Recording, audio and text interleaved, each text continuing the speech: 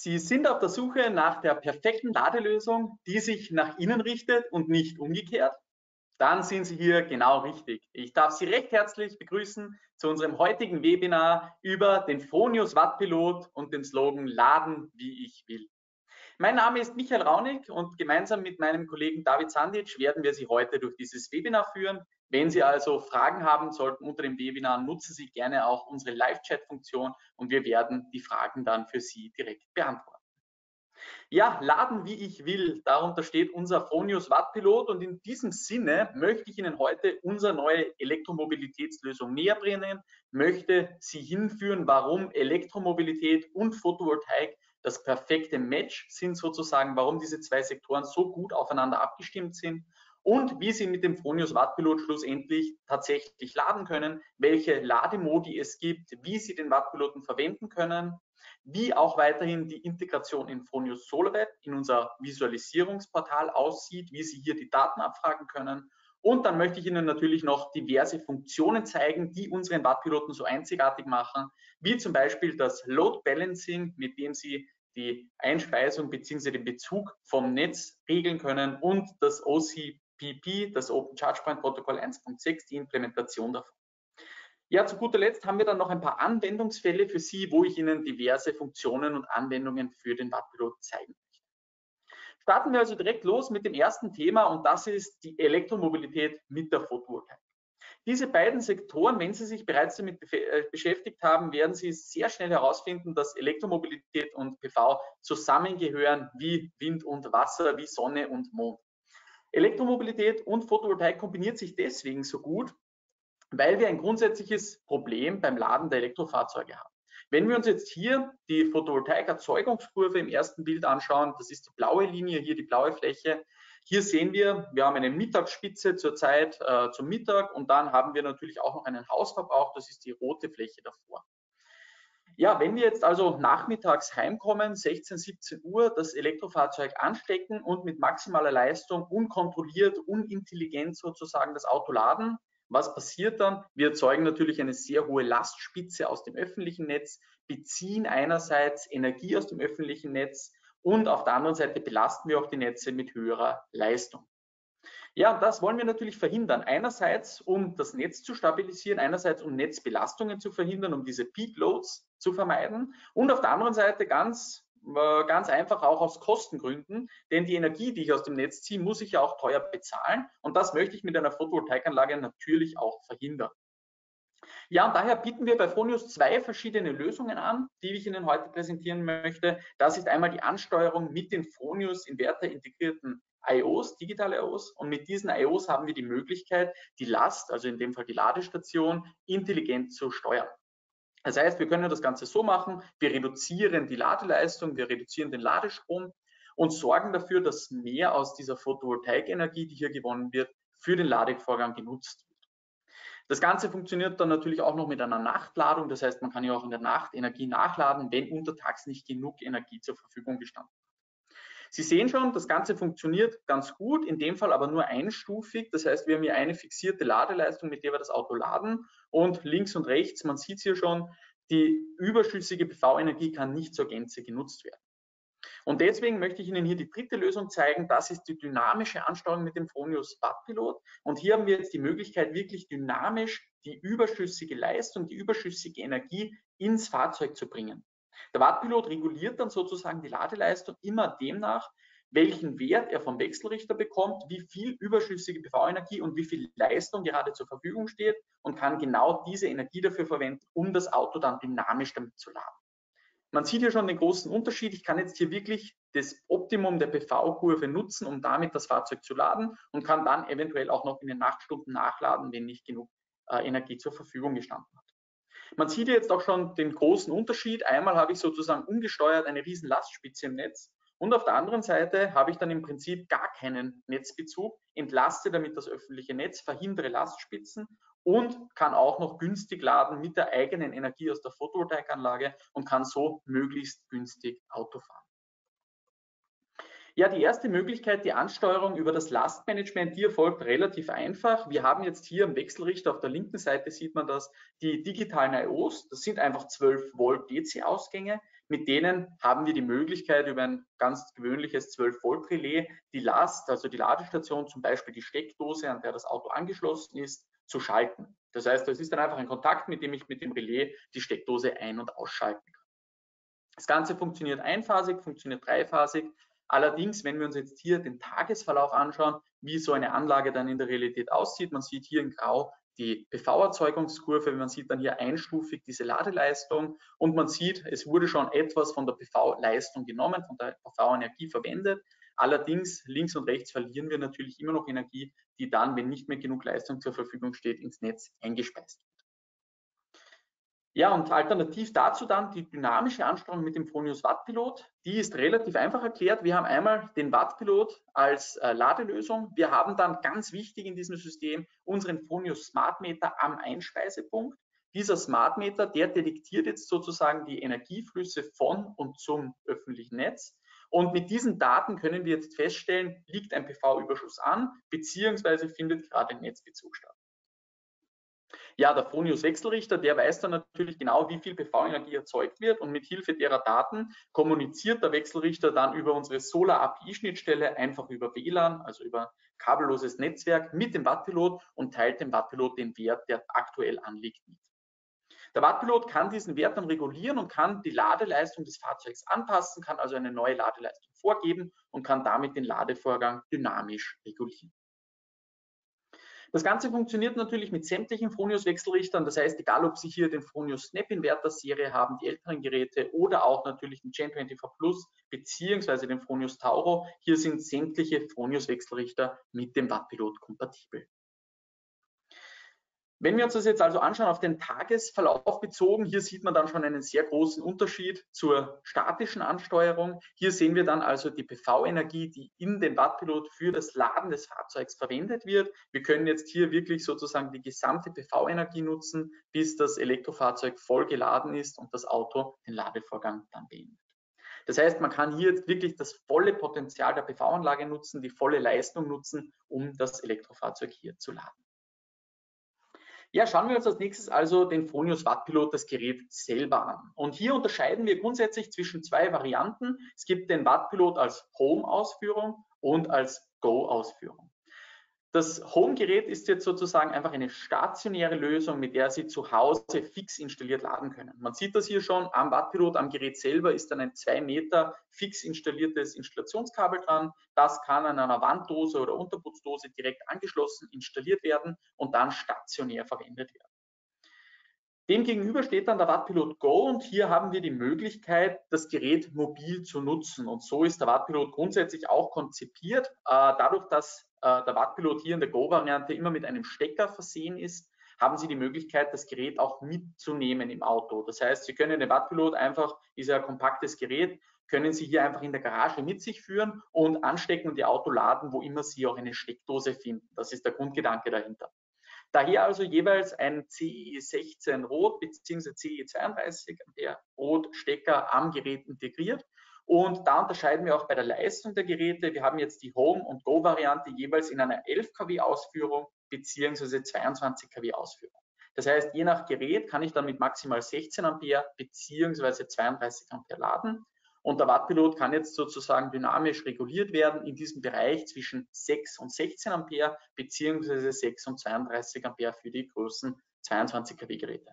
Warum 6 Ampere? 6 Ampere hat deswegen zugrunde, weil äh, die Autos einen minimalen Ladestrom benötigen. Und dieser fängt bei 6 Ampere an. Das ist sozusagen die minimale Ladeleistung, mit der ich das Elektrofahrzeug laden kann. Daher kann der Wattpilot sozusagen ab 6 Ampere aufwärts anfangen zu regeln. Ja, im Standardlieferumfang ist dann enthalten einmal das Gerät selber, daneben auch die Wandhalterungsplatte. Sie sehen schon, diese Wandhalterungsplatte kommt extra, hat eben den Hintergrund, ich kann mit den Wattpiloten an Ort und Stelle, wo ich laden möchte, im Carport, in der Garage, installieren und aufhängen und kann dann mit dieser Wandhaltungsplatte den Wattpilot jederzeit einfach aus der Wandhaltungsplatte abziehen, den Stecker abziehen und entsprechend im Fahrzeug mobil mitnehmen. Ja, des Weiteren ist dann noch diese RFID Reset Card im Lieferumfang enthalten. Diese Reset Card können Sie einerseits nutzen, um den Wattpilot auf Werkseinstellungen zurückzusetzen und auf der anderen Seite für die erste Inbetriebnahme finden Sie auch die wichtigen Informationen darauf, um sich auf das Gerät zu verbinden. Außerdem ist dann noch ein RFID-Chip im Lieferumfang enthalten. Diesen Chip, den können Sie einfach als Schlüsselersatz sehen. Das heißt, wenn Sie hier im öffentlichen oder halböffentlichen Raum installieren und verhindern möchten, dass fremde Personen am Wattpilot laden, dann kann ich mit diesen RFID-Chips ganz einfach den Zugang kontrollieren, sozusagen den Wattpilot freischalten und nur zertifizierte Benutzer können das Gerät nutzen. Ja, außerdem enthalten natürlich eine Diebstahlsicherung und mit diesem Cable Lock habe ich sozusagen die Möglichkeit, das Gerät selber zu sichern gegen Entwendung. Das heißt, jeder kann ja, wenn er nicht gesichert ist, das Gerät einfach abziehen und mitnehmen. Und mit diesem Diebstahlschutz ist dann der Wattpilot gegen Entnahme gesichert. Ja, optionales Zubehör gibt es dann auch noch zum Wattpilot und hier natürlich ganz wichtig im Sinne der Mobilität äh, die einzelnen Adapterkabel. Das heißt, Sie können jetzt hier zum Wattpiloten zusätzliche Adapterkabel ordern um den ursprünglichen Stecker, also entweder CE16 oder 32 Ampere, auf einen jeweils anderen Stecker zu adaptieren. Das heißt, Sie sehen schon, je nach Gerät, entsprechend ob Sie ein 16 Ampere oder 32 Ampere Gerät ordern, gibt es dann unterschiedliche Adapterkabel und die adaptieren dann zum Beispiel auf die Schuko-Steckdose, auf CEE Blau, also auf die Kara-Steckdosen, wie man sie nennt, und natürlich entsprechend auf die andere Kraftstromsteckdose auf CE16 bzw. CE32. Das heißt, mit dem sind Sie dann sozusagen immer flexibel unterwegs und können Ihr Fahrzeug anstecken, wo immer Sie eine Steckdose finden. Ja, zusätzlich gibt es dann natürlich noch ein Typ 2 Kabel. Hier gibt es verschiedene Längen, je nachdem, äh, ob Sie schon ein Typ 2 Kabel haben, beziehungsweise eines dazu haben möchten, gibt es hier verschiedene Längen, kodiert in dem Fall mit 32 Ampere auf 22 kW Leistung. Zusätzlich gibt es dann noch ein 10er-Pack von diesen RFID-Chips, mit denen können Sie dann sozusagen bis zu 10 Personen Zugang zum Gerät gewähren, können diese RFID-Chips jederzeit am Gerät anlernen und wieder löschen und damit sozusagen den Wattpilot freischalten. Die Montageplatte gibt es auch extra, wenn Sie hier zum Beispiel auf einem zweiten Standort laden möchten und dort den Wattpilot auch schön aufhängen wollen, dann gibt es eine Montageplatte extra, sowie ganz wichtig auch eine Kabelaufhängung. Wenn Sie hier das Kabel entsprechend sortiert an die Wand bringen wollen, gibt es hier eine Kabelaufhängung auch extra zu ordnen. Ja, was ist jetzt also wichtig bei der Hausinstallation des Phonius Wattpilot? Und hier ist grundsätzlich zu sagen, in der vorrangigen Installation des Geräts ganz wichtig, ein FI Typ A mit 30 mA Absicherung und zusätzlich ein Leitungsschutzschalter. Das heißt, im Prinzip, immer wenn Sie eine CE-Dose absichern, machen Sie nichts anderes beim Wattpilot, einen FI Typ A installieren und einen Leitungsschutzschalter. Ganz wichtig, der Wattpilot, der hat integriert eine sogenannte RCMU. Das heißt, er erkennt jetzt hier auch glatte Gleichstromfehlerströme. Das heißt, da bitte auch ganz speziell darauf achten, wenn Sie andere Elektromobilitätslösungen installieren, achten Sie immer darauf, dass die Ladestation die Typ B-Charakteristik erfüllt, dass hier nicht nachträglich ein Typ B FI installiert werden muss, denn das kann natürlich ganz schön ins Geld gehen. Hier macht der Wattpilot alles richtig, die RCMU ermöglicht das sozusagen und hier benötigen Sie keinen extra Typ BFI, sondern es reicht in der vorigen Installation ein Typ A FI mit 30 mA und der Leitungsschutzschalter.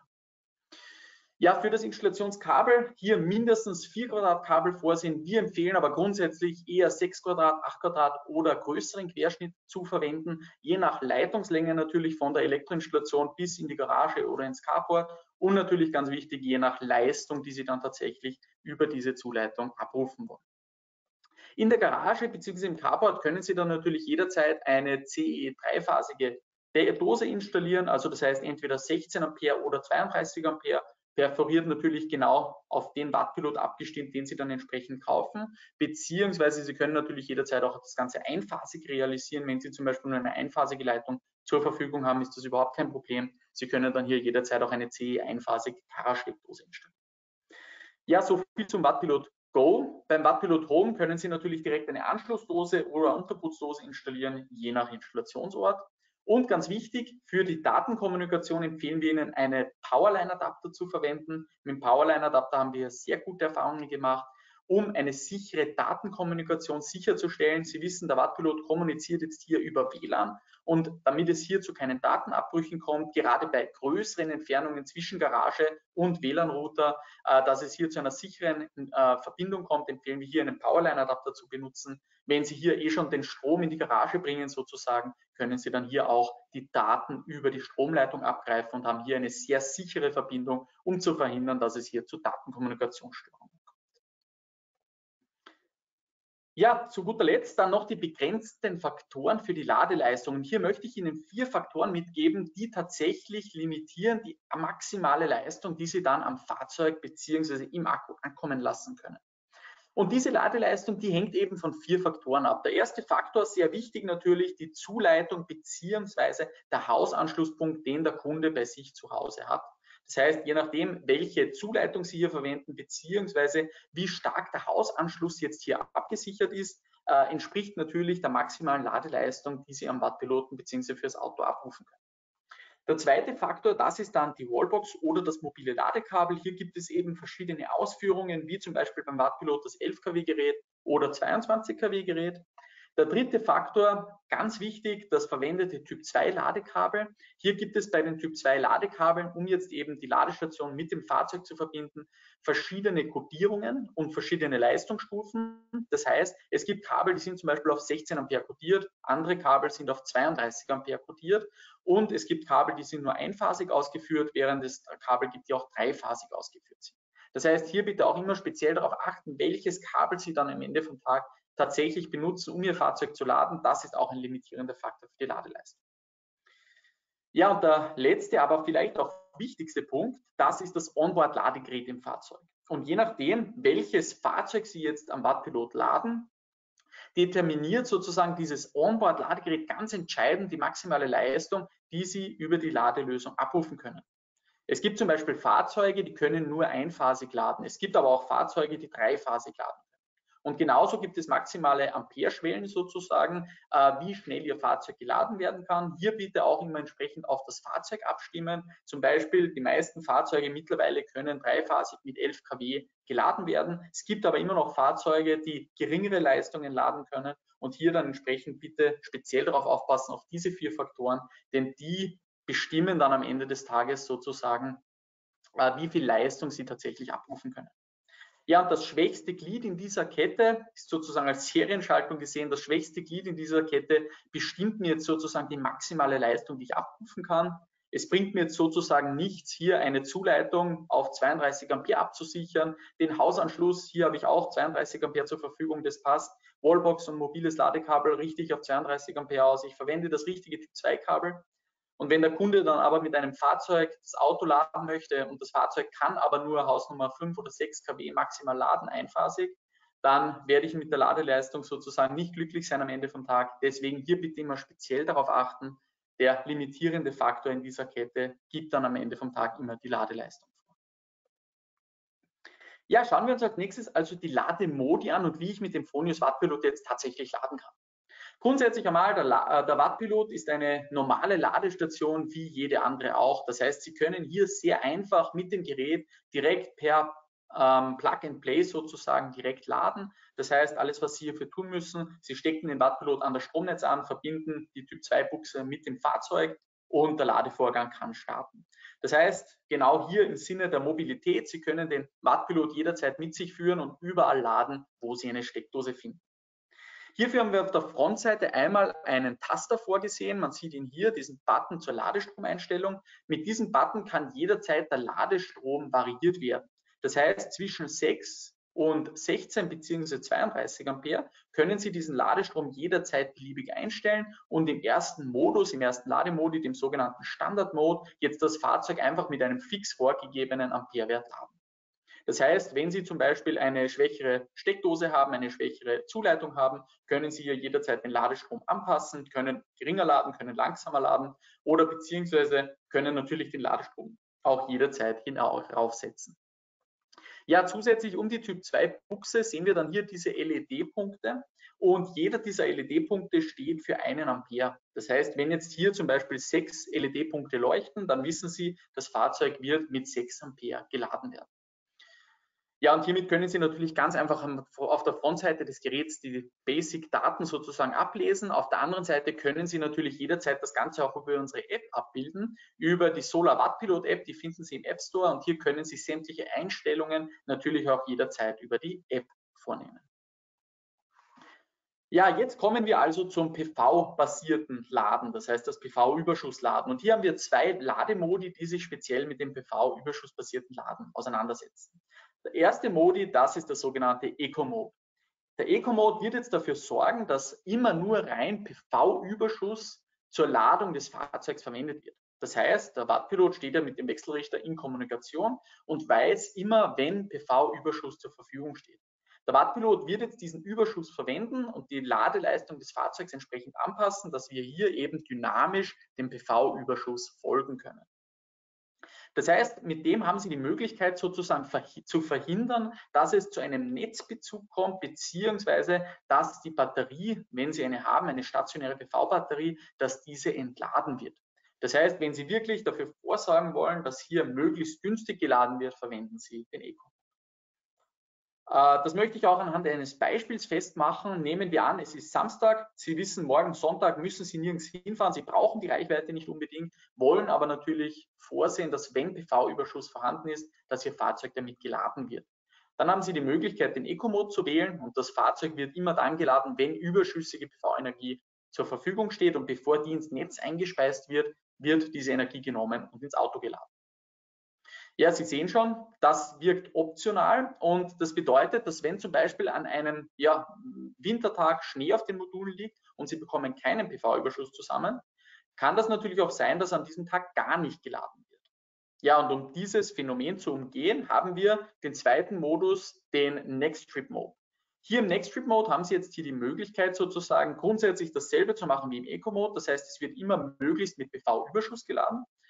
Allerdings sorgt der Nexttrip Mode dann auch dafür, dass eine Mindestkilometer bzw. Mindestkilowattstundenanzahl auf jeden Fall im Auto ankommt bis zu einer definierten Zeit. Also Beispiel Nummer zwei, es ist Montag, Sie wissen, morgen Dienstag müssen Sie wieder in die Arbeit und Sie wollen vorsehen, dass zumindest 60 Kilometer im Auto landen, egal ob die Sonne scheint oder nicht. Da wird der Nexttrip Mode dann dafür sorgen, dass diese 60 Kilometer auf jeden Fall im Auto ankommen, entweder durch den Vortag durch PV-Überschuss oder wenn nicht und Sie stellen zum Beispiel 6 in der Früh als Ladegrenze ein, dann wird der Nexttrip Mode dafür sorgen, dass diese 60 Kilometer oder Hausnummer 10 Kilowattstunden auf jeden Fall in Ihrem Fahrzeug landen, äh, damit Sie Ihren nächsten Tagestrip sozusagen beschreiten können. Ja, das Ganze lässt sich dann auch noch kombinieren mit unseren flexiblen Stromtarifen. Und Sie haben jetzt hier beim Wattpilot außerdem die Möglichkeit, optional mit flexiblen Stromtarifen das Auto zu laden.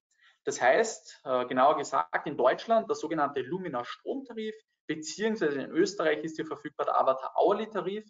Mit diesen flexiblen Strompreisen können Sie jetzt sozusagen an der Strompreisbörse teilnehmen und immer wenn der Strom von der Strompreisbörse günstig ist, nehmen wir an, es ist ein sehr windiger, Zeit, windiger Tag bzw. sonniger Tag, dann ist der Strom vom öffentlichen Netz natürlich günstiger und diese günstigen Stromtarifszeiten können Sie verwenden, um das Auto jetzt günstig zu laden. Kleiner Hinweis hierfür müssen Sie natürlich äh, den Strompreis entsprechend zu Hause anmelden. Das ist dann wirklich Ihr Hausstromtarif. Und diese Strompreiszeiten, die ruft der Fronius Wattpilot jetzt direkt vom Internet, von der Strompreisbörse ab. Und Sie können definieren über die sogenannte Eco-Mode-Preisgrenze, wann Ihr Auto geladen werden soll, beziehungsweise zu welchem Preis, also welche Preisschwelle unterschritten sein muss, damit das Auto dann auch geladen wird. Ja, ich denke, in Zeiten von hohen Energiepreisen ist das natürlich ein ganz spannendes Thema. Wann lade ich mein Auto und zu welchen Kosten lade ich mein Auto? Und natürlich können Sie diese Funktion auch unabhängig von einer Photovoltaikanlage nutzen. Das heißt, auch wenn Sie jetzt noch keine Photovoltaikanlage haben, können Sie diese Stromtarifszeiten trotzdem schon nutzen, auch unabhängig von der PV-Energie. Ja, hier noch die, ähm, die Visualisierung des Next Trip Modes. Hier haben wir jetzt sozusagen untertags äh, PV-Energie zu zur Verfügung. Das heißt, hier wird der Wattpilot auch dafür sorgen, dass diese PV-Energie im Auto landet und zusätzlich wird dann eben über eine Nachtladung äh, sichergestellt, dass hier jetzt auch die gewünschte Energie am nächsten Tag um 6 Uhr im Fahrzeug bereitsteht. Ja, kommen wir also zu einer ganz speziellen Funktion von Fronius Wattpilot und das ist die automatische Ein- und Drei-Phasen-Umschaltung. Wenn immer Sie sich mit Ladelösungen für die Photovoltaik beschäftigt haben, werden Sie zu einem ganz speziellen Punkt gekommen sein. Nämlich, wenn ich das Auto jetzt einfasig lade und in einzelnen Ampere-Schritten das Fahrzeug geregelt werden kann, ergibt mir das einfasig sozusagen 230 Wattschritte, beziehungsweise auf der dreiphasigen Ladung 690 Wattschritte. Das heißt, das ist sozusagen der Bereich, in dem der Wattpilot regeln kann, in dem ich das Auto regeln kann und in dem ich diese Ladevorgaben machen kann. Wenn ich jetzt sozusagen mein Auto auf der einen Seite immer nur einphasig lade, beziehungsweise immer nur dreiphasig lade, stellt mich das vor eine Herausforderung nämlich die Ladeleistung. Das heißt, wenn ich jetzt hier anschaue auf dieser Tabelle herunten, die Ladeleistungen, die ich einphasig bzw. dreiphasig damit erreichen kann, dann sehe ich hier relativ schnell 6 Ampere einphasig bedeuten 1,3 kW Leistung. Auf der anderen Seite 16 Ampere einphasig bedeuten 3,6 kW Leistung. Nehmen wir also an, Sie haben eine relativ große Anlage und wollen natürlich, also eine relativ große PV-Anlage und wollen natürlich die Leistung dieser Anlage dazu nutzen, um das Fahrzeug zu laden. Jetzt laden Sie aber mit Ihrer Lösung immer nur einphasig, was bedeutet, dass Sie im Bereich von 1,3 kW bis maximal 3,6 bzw. 4,6 kW nur regeln können. Wenn Sie jetzt aber eine 20 oder 25 kW Anlage haben, und Sie wollen relativ viel Leistung dieser Anlage runternehmen, sind Sie irgendwo hier je nach Hausabsicherung bzw. Absicherung der Leitung auf 16 Ampere, vielleicht 20 Ampere begrenzt und die Leistungsregulierung ist relativ gering. Auf der anderen Seite nehmen wir an, Sie haben eine relativ kleine Anlage und wollen aber dreiphasig laden oder laden immer nur dreiphasig, dann fängt mit 6 Ampere der minimalen Ladeleistung äh, die Ladeleistung überhaupt erst bei 4,14 kW an. Nehmen wir also an, Sie haben eine 5 oder 6 kWp Anlage zu Hause, dann benötigen Sie von dieser Anlage 4,14 kW an Überschuss, damit die Ladung überhaupt erst startet. Und das ist bei kleinen Anlagen oft nicht der Fall. Das heißt, die Ladeleistung wird nie erreicht sein und das Fahrzeug wird nie anfangen zu laden. Und da kommt jetzt die wichtigste Funktion vom Fronius Wattpilot ins Spiel. Das ist die automatische Ein- und Dreiphasen-Umschaltung. Das heißt, das automatische Umschalten von der einphasigen Ladung auf die dreiphasige Ladung. Der riesige Vorteil, und genau bei der PV-überschussbasierten Ladung wollen wir das ja, ist jetzt, dass ich sozusagen das gesamte Leistungsspektrum der PV-Anlage nutzen kann. Das heißt, in den Morgenstunden, wo wenig Leistung zur Verfügung steht, kann der Wattpilot mit 6 Ampere einphasig mit 1,3 kW anfangen zu laden, regelt dann im Tagesverlauf die Leistung nach oben, bis die dreiphasige Schwelle erreicht ist und kann dann automatisch auf das dreiphasige Laden umschalten, um dann hier sozusagen den Booster zu aktivieren und dann bis 22 kW die volle Leistungsspektrum der Anlage abzurufen und die volle Leistung auch für das Auto nutzbar zu machen. Sie sehen schon, diese Ein- und Drei-Phasen-Umschaltung ist jetzt wirklich, ähm, ja, wirklich wichtig für die PV-überschussbasierte Ladung, denn ohne diese Umschaltung ja, können Sie die Leistung der Photovoltaikanlage nicht nutzen, beziehungsweise sind immer auch begrenzt her. Je nach Anlagengröße kann sich dann die Ladeleistung nicht entsprechend an Ihre Photovoltaikanlage anpassen. Und hier macht der Wattpilot eben alles richtig. Hier kann ich mit dieser Ein- und Drei-Phasen-Umschaltung eben dafür sorgen, dass hier immer die Leistung auch entsprechend verwendet werden kann. Ja, kommen wir als, nächstes Punkt, als nächsten Punkt äh, zur Integration in Fronius SolarWeb. Und alle Photovoltaikkunden werden natürlich kennen unser Fronius SolarWeb, unser Monitoring-Plattform für die Visualisierung. Und Sie können den Fronius Wattpilot natürlich jetzt auch in Fronius äh, SolarWeb online bringen. Das heißt, Sie können sämtliche Daten in SolarWeb visualisieren, monitoren und anzeigen lassen. Das hat natürlich den großen Vorteil, einerseits können Sie hier die Energiebilanzdiagramme ansehen, das heißt, Sie können hier direkt sehen, wie viel Energie hat Ihr Fahrzeug über eine Woche, über einen Monat, über das Jahr zum Beispiel gezogen. Sie können jetzt hier auch im Bubble Chart zum Beispiel direkt die Ladeleistung, die aktuelle des Fahrzeugs abrufen, können das aus der Ferne beobachten und natürlich im History Chart sowie in der Report-Funktion können Sie auch leicht die Detailwerte zum Wattpilot herausfinden, beziehungsweise ganz wichtig für Sie als Installateur auch natürlich die Report-Funktion. Hiermit haben Sie dann die Möglichkeit, auch Troubleshooting aus der Ferne, also Fehlerbehebung aus der Ferne vorzunehmen, um hier Ihrem Kunden direkt vor Ort helfen zu können. Ja, für die Energiebilanz sieht das Ganze folgendermaßen aus. Hier haben wir also die Energiebilanz für Tag und Monat, beziehungsweise das Ganze geht natürlich auch fürs Jahr. Und hier können Sie dann direkt sehen, wie viel Energie hier in Lilla dargestellt ist in Ihr Auto geflossen. Das heißt, Sie haben dann hier die perfekte Übersicht über Ihre Photovoltaikanlage, sehen zum Beispiel, wie viel Energie in Ihre Batterie, in Ihre stationäre Batterie geflossen ist, wie viel Energie für die Warmwasseraufbereitung genommen wurde, wie viel Energie trotzdem noch ins öffentliche Netz eingespeist worden ist, beziehungsweise wie viel Energie Ihr Auto gezogen hat. Ja, und fürs Reporting fürs Fahrzeug ist das natürlich besonders praktisch, denn hier können Sie direkt abprüfen, wie viel Energie zum Beispiel für Ihr Fahrverhalten verwendet worden ist, monatlich, jährlich, täglich und so weiter. Ja, die Analyse in der History-Funktion, die ist auch sehr nützlich. Hier können Sie dann Detailwerte ähm, für alle Interessierten natürlich oder beziehungsweise auch fürs Troubleshooting verwenden. Spannung pro Phase, Strom pro Phase, den Leistungsfaktor, also Cosinus Phi können Sie hier abrufen, die Geräteleistung selber und natürlich auch die WLAN-Signalstärke können hier geprüft werden. Das heißt, hier haben Sie dann wirklich einen detaillierten Blick auf die Daten des Phonius Watt-Piloten direkt in SolarWeb. Ja, hier noch ein paar Hinweise zur Integration in SolarWeb. Hier bitte darauf achten, Wechselrichter und Wattpilot zuerst updaten und beide Geräte online bringen, bevor hier ein Hinzufügen in Phonius SolarWeb gemacht wird. Sie können das Ganze dann in SolarWeb einfach unter dem Punkt Einstellungen und Komponenten jederzeit unter neue Komponente hinzufügen. Hier geben Sie dann einfach die Seriennummer des Phonius Wattpiloten an und können dann hier manuell das Gerät in Ihre SolarWeb-Anlage hinzufügen. Bitte auch darauf aufpassen, der Wattpilot speichert ohne Internetanbindung keine Daten. Das heißt, wenn Sie einmal an einem Standort laden, wo kein Internet vorhanden ist, wo der Wattpilot nicht in einem WLAN hängt, hier werden dann keine Daten gespeichert und auch nicht nachträglich nachgetragen. Für die Wattpilot Firmware, hier passen Sie bitte auf, dass Sie mindestens die Firmware-Version 36.0 installiert haben und für den Gen 24 und Tauro die Firmware-Version 1.12. Äh, und sobald das äh, vorgesehen ist, können Sie den Wattpiloten jederzeit in SolarWeb online bringen. Hier bitte auch darauf aufpassen, ein Wattpilot ist jederzeit immer nur in einem SolarWeb-System vorhanden. Das heißt, äh, wenn Sie hier mehrere SolarWeb-Systeme nutzen wollen, müssen Sie den Wattpiloten zuerst manuell löschen und können ihn dann jederzeit hinzufügen. Ja, der zweite Punkt, den ich Ihnen heute hier vorstellen möchte, das ist das Load Balancing. Und das Load Balancing ist eines der ganz wichtigen Funktionen, die der Fronius Wattpilot jetzt hier vereint. Grundsätzlich gesagt, was ist Load Balancing? Load Balancing sorgt jetzt dafür, dass es zu keiner Überlast am Einspeisepunkt kommt. Das heißt, mit Load Balancing haben Sie die Möglichkeit, bis zu drei Wattpilotgeräte untereinander kommunizieren zu lassen. Und diese Wattpilotgeräte werden sich jetzt intelligent die zur Verfügung stehende maximale Leistung aufteilen, um zu, äh, um zu verhindern, dass es hier zu einer Überlast am Einspeisepunkt kommt.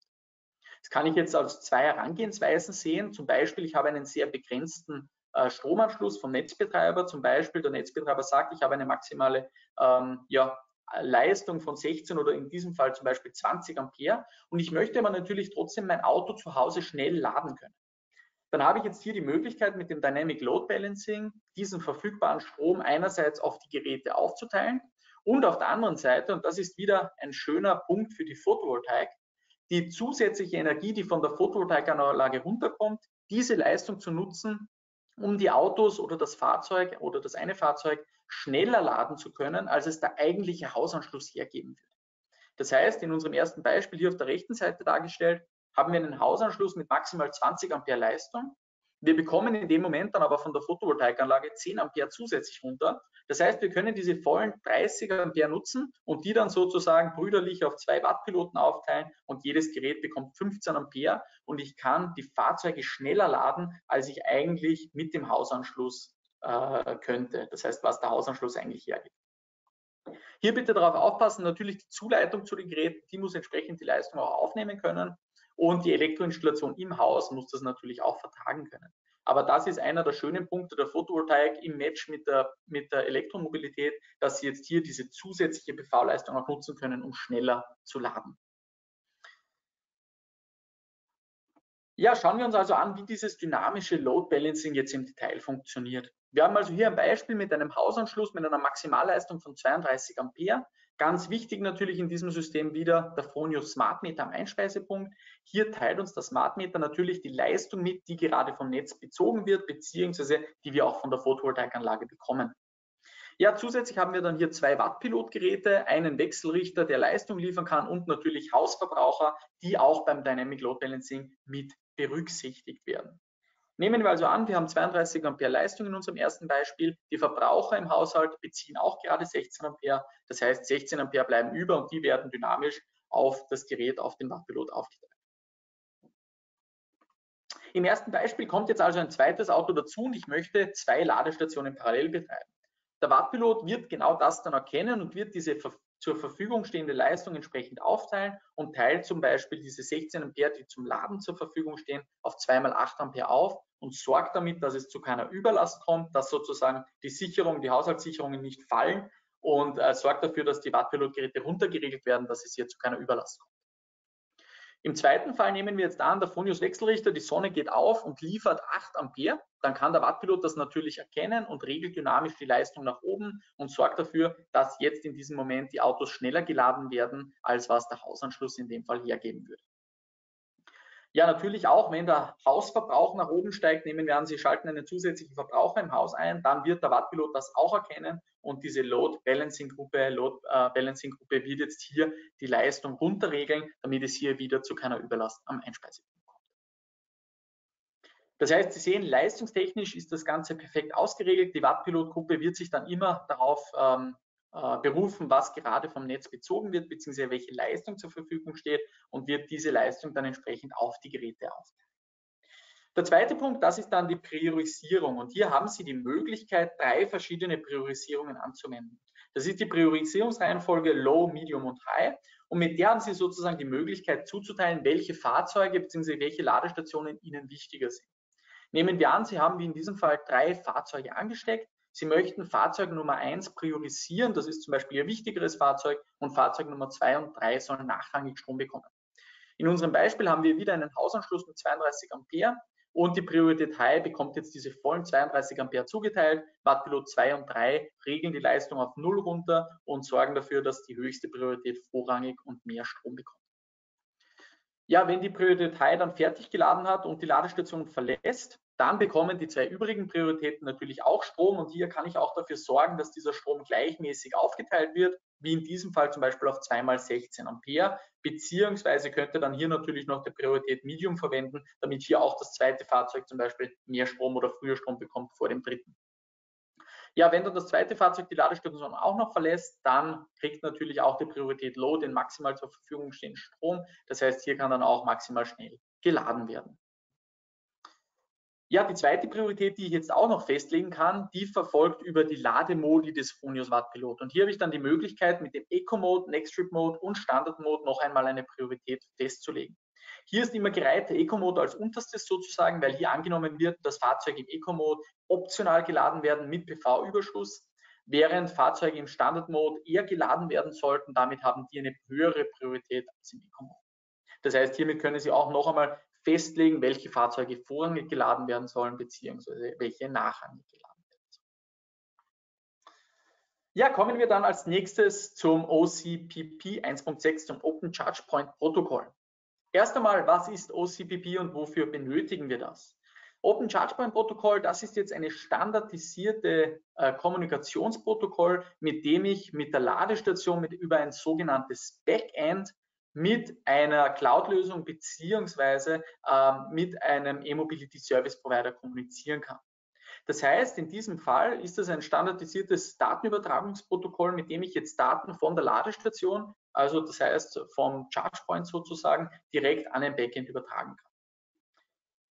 OCPP ist jetzt äh, universal einsetzbar. Das heißt zum Beispiel speziell für unsere Phonius EMI-Lösung, unser Commercial Last Management Tool, haben wir jetzt die Möglichkeit, über das sogenannte OCPP mit den Ladestationen zu kommunizieren. Und diese Ladestationen für den kommerziellen Bereich, nehmen wir haben eine Firma mit einem Fuhrpark von 20 Ladestationen, diese Ladestationen zentral regeln zu können, die Leistung anzupassen und hier wieder dafür zu sorgen, dass es zu keiner Überlast am Einspeisepunkt wie funktioniert jetzt OCPP im Detail? Wie schaut das dann aus? Nehmen wir also an, Sie haben einen halböffentlichen Standort, Sie haben hier einen Hotelbesitzer. Dieser Hotelbesitzer will den Gästen natürlich eine Ladelösung zur Verfügung stellen, möchte aber nicht selbst die Abrechnung dafür übernehmen. Dann gibt es die Möglichkeit, diesen ähm, Ladepunkt sozusagen mittels OCPP die Daten und die Rechnungslegung über einen sogenannten E-Mobility Service Provider abzuwickeln. Und dieser E-Mobility Service Provider, der schickt dann eine Rechnung sozusagen, hat wieder einen Vertrag mit dem Endkunden und kann dann hier die Rechnungslegung übernehmen. Das heißt, im ersten Fall nehmen wir an, der Endkunde kommt mit seiner RFID-Karte, die er vom E-Mobility Service Provider erhalten hat, beim ChargePoint Operator in diesem Hotel an, authentifiziert sich mit der Karte, kann den Ladevorgang damit starten und auch wieder beenden und der ChargePoint Operator, diese Daten, die dann an der Ladestation anfallen, die werden über das OCPP eben, über dieses Standard äh, Kommunikationsprotokoll im Backend verarbeitet und dann an den E-Mobility Service Provider weitergeleitet, der dann am Ende des Tages einerseits die Vergütung an den Hotelbesitzer auszahlen kann und auf der anderen Seite den Ladevorgang an den Endkunden weiterverrechnen kann. Ja, das Ganze funktioniert mit diversen Backend-Betreibern bzw. E-Mobility Service Providern. Ganz wichtig für uns aber natürlich die Anwendung in Fronius Emil, speziell für uns bei Fronius. Hier verwenden wir das OCPP, um mit den einzelnen Ladestationen kommunizieren zu können und um diese Ladestationen dann entsprechend auch ansprechen und regeln zu können. Ja, zu guter Letzt ist natürlich das OCPP Voraussetzung für diverse Förderungen. Zum Beispiel in Österreich gibt es ja die Wallbox-Förderung für Betriebe.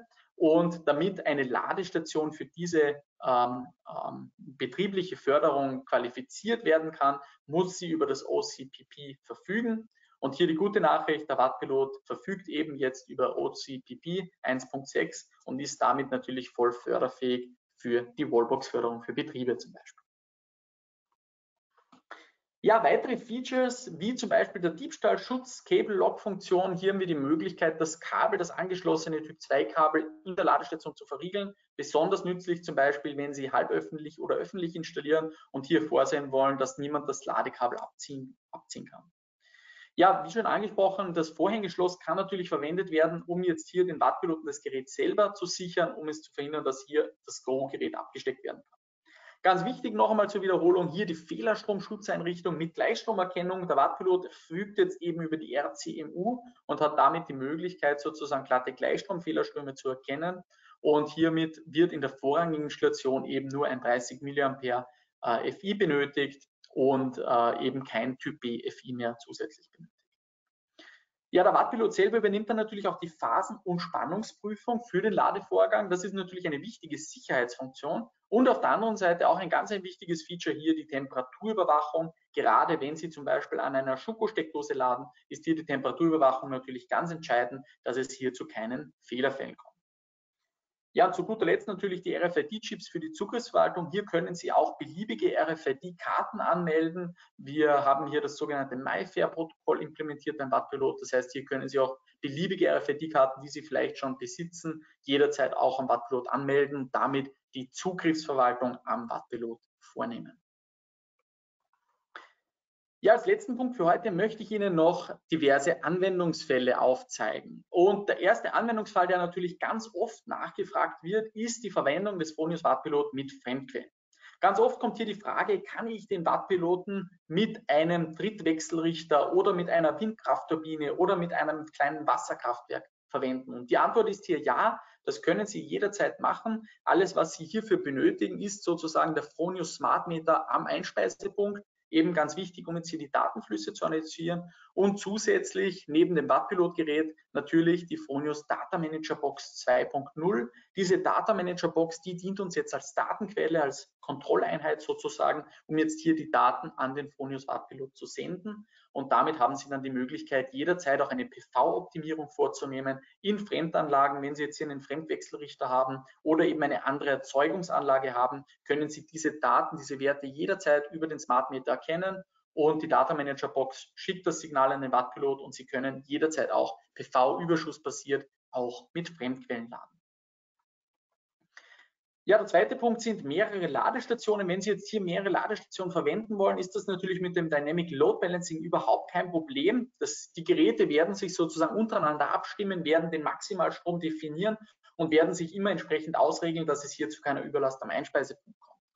Ganz wichtig, wenn Sie die PV-geführte Ladung verwenden wollen, bitte darauf achten, das funktioniert immer auf einem Gerät gleichzeitig. Das heißt, wie in unserem Fall hier, ein Fahrzeug lädt PV geführt und das zweite Fahrzeug, das kann dann im Standardmodus mit 16 Ampere fix geladen werden. Sie haben alternativ die Möglichkeit, natürlich die Geräte nacheinander PV-optimiert zu laden, aber gleichzeitige Verwendung ist immer ein Gerät PV geführt und die anderen Geräte mit einem fixen Ladestrom. Natürlich, wenn es hier zu Änderungen der Verbraucher bzw. zur Erzeugung der PV-Anlage kommt, wird auch diese 16 Ampere fix, also das fix eingestellte Gerät entsprechend den Ladestrom variieren, um jetzt hier eine Überlast zu verhindern, beziehungsweise auch den Ladestrom erhöhen, wenn mehr Ladestrom zur Verfügung steht. Ja, ganz wichtig natürlich auch die Priorisierung der Sektorenkopplung. Das heißt, gerade wenn Sie jetzt hier den Wattpilot koppeln wollen mit einem heimischen stationären PV-Batteriespeicher beziehungsweise mit einer Warmwassererzeugung mit dem Fronius Onpilot, dann ist das natürlich überhaupt kein Problem. Sie können jederzeit hier auch eine Priorisierung vornehmen und selber definieren, welche äh, Geräte Ihnen hier wichtiger sind, zum Beispiel der stationäre PV-Batteriespeicher oder der Onpilot oder eben entsprechend der Wattpilot. Das können Sie jetzt einfach hier vornehmen, einmal im Webinterface des Wechselrichters. Hier können Sie eine Priorität festlegen zwischen Batterie und Unpilot. Das heißt, je nachdem, ob Ihnen der stationäre Batteriespeicher oder der Unpilot wichtiger ist. Und zusätzlich in der Solar Watt Pilot App haben Sie jetzt hier die Möglichkeit, einen Grenzwert für die entsprechende PV-Batterie festzulegen und einen Grenzwert für den Unpilot festzulegen. Hier bitte entsprechend Augenmerk darauf legen, mit diesen Prozentsätzen, also in diesem Fall 20 Prozent State of Charge der stationären PV-Batterie, beziehungsweise 20 Grad Celsius Temperatur im Warmwasserspeicher des Fronius Pilot, habe ich jetzt hier die Möglichkeit zu definieren, ab welchem Wert der Fronius Wattpilot Strom bekommen soll. Das heißt, nehmen wir also an, ich stelle hier ein 20 Prozent State of Charge der Batterie und 20 Grad Celsius im Warmwasserspeicher, dann wird der Wattpilot immer dann Strom bekommen, wenn diese zwei Bedingungen erfüllt sind.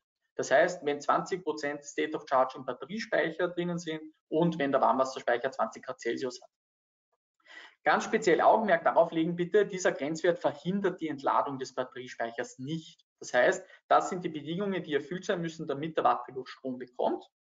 Wenn Sie hier eine Entladung des Batteriespeichers ausschließen oder verhindern wollen, dann verwenden Sie einfach den Eco-Mode, den PV-Überschussbasierten Lademode, um hier zu verhindern, dass Energie aus dem öffentlichen Netz gezogen wird.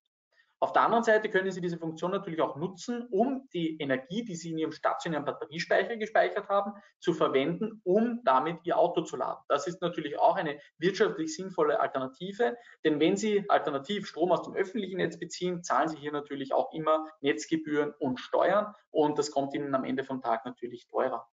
Das heißt, hier auch die Empfehlung, nutzen Sie auch Teile Ihres stationären Batteriespeichers, um jetzt hier den um das Elektrofahrzeug laden zu können. Ja, zu guter Letzt möchte ich Ihnen hier noch die Autoauswahl vorstellen, die Modellauswahl. Und hier ist es tatsächlich so am Markt, dass es leider noch keinen äh, definierten Ladebereich für das PV-optimierte Laden der Fahrzeughersteller gibt. Das heißt, hier gibt es kein Standard-Kommunikationsprotokoll und leider ist es so, dass manche Fahrzeuge hier beim Laden Probleme machen. Wir bei Fronius testen diese Fahrzeuge am regelmäßigen Band und versuchen dann für diese Fahrzeuge einen Lademod zu finden, ein sogenanntes Preset zu finden, damit das Laden für diese Fahrzeuge, die das grundsätzlich nicht unterstützen, trotzdem ermöglicht wird. Und diese Fahrzeuge, die finden Sie in der SolarWatt Pilot App unter dem Punkt Auto. Hier finden Sie dann diverse von uns getestete Fahrzeugkonfigurationen, die Sie jederzeit wählen können. Hier wird der Wattpilot sich mit diesem Preset dann auf das Auto einstellen, wird dafür sorgen, dass Ihr Fahrzeug trotzdem geladen kann. Ja, wenn Ihr Auto in dieser Liste nicht aufscheint, können Sie natürlich jederzeit mit dem Standard-Ladeverhalten laden. Viele Autos am Markt unterstützen das PV-basierte Laden. Die lassen sich hier leicht vom Wattpilot regeln. Äh, wie auch immer, ein paar Fahrzeuge gibt es leider, die das nicht unterstützen. Die haben wir dann hier in dieser Liste für Sie zusammengefasst. Ja, ich hoffe, ich konnte Ihnen hiermit einen kleinen Überblick über unsere Elektromobilitätslösung, über den Fronius Wattpilot liefern. Zusammengefasst ist der Wattpilot jetzt also die ideale Lösung mit und ohne PV. Das heißt, egal ob Sie schon eine PV-Anlage haben oder in Zukunft eine vorsehen wollen, gehen Sie hier auf Nummer sicher, sind Sie zukunftssicher mit dem Fronius Wattpilot. Der begleitet Sie sozusagen in allen Höhen und Tiefen. Das heißt, wir lassen Sie hier auch nicht alleine. Es kommen regelmäßig neue Updates für den Wattpilot raus. Es kommen regelmäßig neue Funktionen dazu. Und all diese neuen Funktionen sind nur einen Klick entfernt. Wir haben hier Over-the-Air Software-Updates, mit dem der Wattpilot jederzeit neu abgedatet werden kann und mit dem Sie hier sozusagen auf die neuesten Funktionen jederzeit upgraden kann. In diesem Sinne sozusagen ist der Wattpilot zukunftssicher. Sie können jetzt hier sicher gehen, dass Ihr Wattpilot jederzeit auch unterstützt wird, dass Sie hier die neuesten Funktionen jederzeit auch auf Ihr Gerät bekommen. Für mehr Informationen schauen Sie sich auch gerne unseren YouTube-Kanal an. Hier haben wir unter www.funius.com slash wattpilot-guide sämtliche Infos zum Wattpilot zusammengefasst. Wir haben hier diverse Detailinformationen auf die einzelnen Funktionen. Wenn Sie hier mehr über das Load Balancing zum Beispiel wissen wollen, schauen Sie sich hier auch gerne unsere How-To-Videos an. Ich freue mich natürlich, Sie zu einem Training außerdem begrüßen zu dürfen. Hier in Wales haben wir Live-Trainings für Sie vor Ort über diverse Funktionen wie Speichertraining, E-Mobilitäts- und Wärmelösung-Training, Installationstraining und so weiter. Schauen Sie hier gern auch auf unserer Website nach. Ja, in diesem Sinne, vielen Dank für Ihre Aufmerksamkeit heute. Ich bedanke mich, dass Sie zugeschaut haben. Sage in diesem Sinne vielen Dank fürs Zusehen. Bleiben Sie gesund und fahren Sie elektrisch. Bis zum nächsten Mal hier bei Fronius.